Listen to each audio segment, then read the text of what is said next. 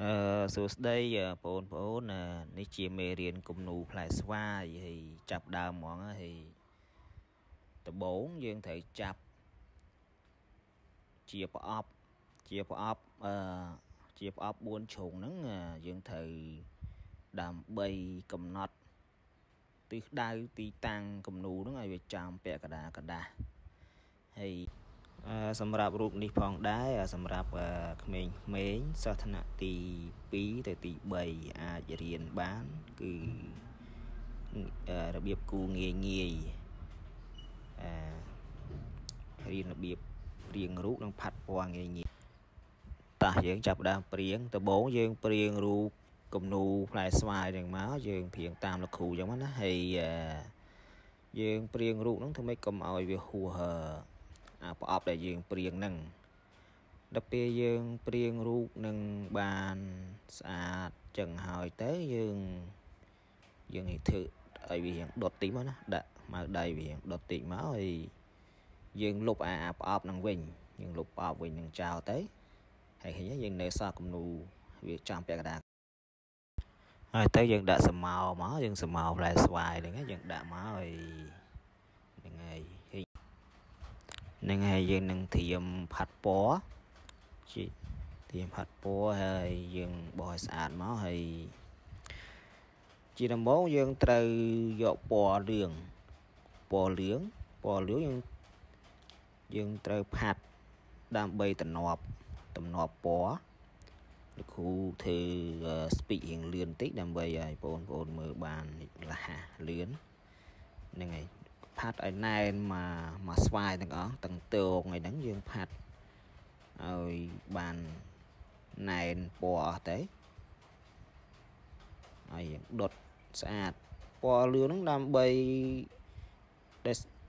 ផាត់ពណ៌លឿងហ្នឹងគឺយើងធ្វើដើម្បីឲ្យវាមានជាតិផ្អែមពណ៌លឿងហ្នឹងគឺតំណាងឲ្យជាតិផ្អែមខុបគំនូផ្លែឈើទាំងអស់យើងត្រូវតែផាត់ពណ៌លឿងមុន ពណ៌លឿងខ្ចីហ្នឹង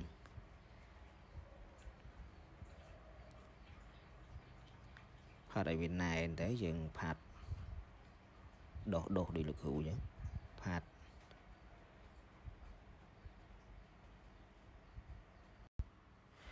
ផាត់ទៅយើងផាត់ទី1យើងផាត់ឲ្យណែនហ្នឹងយើងកុំទៅសូវសកាត់ពេកយើងផាត់ឲ្យណែនឲ្យពេញសិនដល់ពេលយើងផាត់ពេញហើយយើងផាត់ពីលើមកតាំងទៀតឲ្យដុតជាងមុនទៀតយើងផាត់ យើងមានន័យថាយើងផាត់ពីរតង់ឃើញទេឃើញឲ្យដុតរៀងលឿងដុតហើយរៀងណែន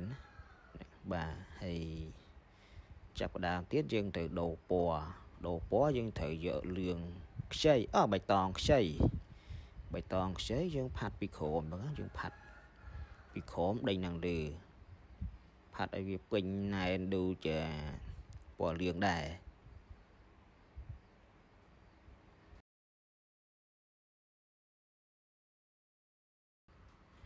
នឹងយើងផាត់ឲ្យអស់យ៉ាងមកយើងផាត់ឲ្យពេញលោកគ្រូដាក់ speed រៀង speed តិចហើយរៀងលឿនតិចយើងដាក់ឲ្យលឿនឲ្យងាយឲ្យកុំឲ្យយូរពេកកុំឲ្យបងប្អូនណាមើលយូរពេកសម្រាប់វីដេអូលោកគ្រូបរៀននេះបងប្អូនណាអត់តន់អីយើងអាចសារចោះសារឡើងមើលបាន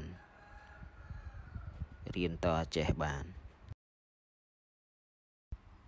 ហើយបន្ទាប់មកយើងយកពណ៌បៃតងចាស់បៃតងចាស់ផាត់អឺពីក្រោមឡើងលើទៀតយើងផាត់ឲ្យពីក្រោមឡើងលើទៀតហើយយីទៅគំនូផ្លែស្វាយលោកគ្រូគម្រោងគូរបៀបលក្ខណៈថាចាស់រៀងស្វាយរៀងចាស់ស្គៀលចង់ទុំនឹងយើងផាត់បៃតងហ្នឹងមកយើងនេះផាត់ពីក្រោមឡើងលើពី ពីក្រោមហ្នឹងធ្ងន់នឹងទៅដៃនឹងទៅដល់ពេលយើងយើងឡើងលើយើងស្រាលឃើញទេផាត់បដិញពណ៌យើងត្រូវផាត់បដិញពណ៌ដើម្បីឲ្យឃើញគំនូស្វាយហ្នឹងវាមានភាពមូលមូលស្វាយនឹងមូលឃើញពណ៌ដែលយើងផាត់ពីពណ៌លឿងហើយនឹងពណ៌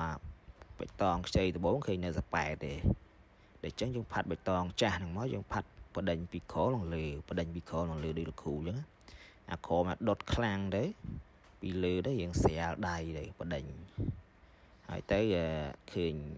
ស្វាយហ្នឹងចាប់ផ្ដើមមូលហើយ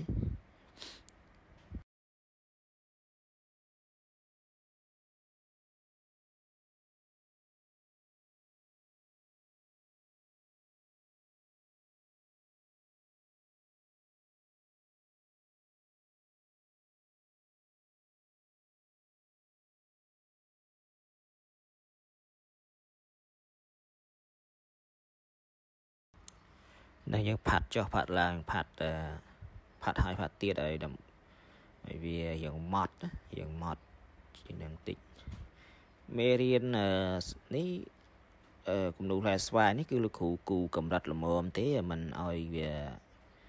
និយាយទៅឲ្យបងប្អូនកម្រិតថ្នាក់ទី1ទី2ទី3ឯហ្នឹងគឺអាចមើលឆាប់យល់បូមួយទៀតកម្រិតថ្នាក់ទី 4ទី5ទី6យើងគួរឲ្យម៉ត់ឈឹងជាងនឹងឲ្យវា detail ឲ្យខ្លាំងនឹងទៅឃើញដូចស្វាយមែនតែនអញ្ចឹងឥឡូវយើងយកពណ៌បៃតងចាស់ដែរហ្នឹងយើងផាត់ស្មៅយើងផាត់ស្មៅស្វាយហ្នឹងយើងផាត់ស្មៅស្វាយនឹងរួចយើងយកលឿងខ្ចីហ្នឹងយើងបញ្ចូលតិចទៅគេថាលក្ខណៈឆ្លងពណ៌ឆ្លងពណ៌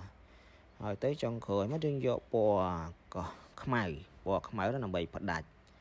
ដាច់ត្រេអសង្ឃហ្នឹងដើម្បីវាដាច់ពីដីនឹងស្វាយវាដាច់ប៉ត់ទៅហើយយើងផាត់បដិញបដិញបដិញហ្នឹងទៅឃើញទេរបៀបដូចគំនូ 3D អញ្ចឹង